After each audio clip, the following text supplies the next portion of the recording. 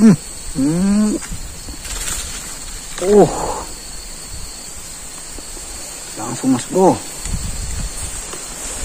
Ikan patung mas bro. Patung. Hmm.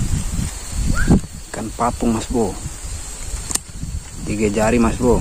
Kita ambil mas bro ya. Enak ikan ini mas bro.